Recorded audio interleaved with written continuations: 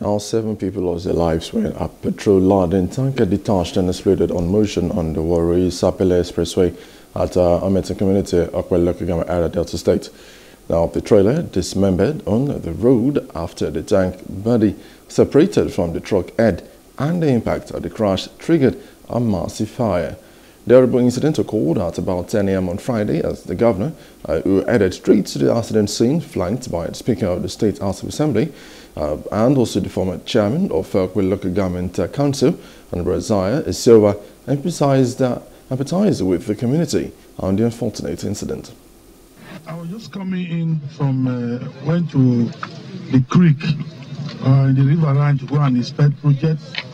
Uh, uh, there was no network that area. So when the immediately arrived at the Navy uh, jetty, now receive a message that, uh, from the HPM, local local government, that there was a fire, a fire uh, incident that happened.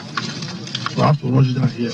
Coming here, four dead bodies lying down, and uh, a witness who said that uh, the tanker head pull off explode. That was what led to fire incident. A very, very sad incident. Commiserating with my colleague Rivers, what happened a few days back. This is my state. Big, the big, uh, very sad, very sad, very. Very sad. Hello. Hope you enjoyed the news. Please do subscribe to our YouTube channel and don't forget to hit the notification button so you get notified about fresh news updates.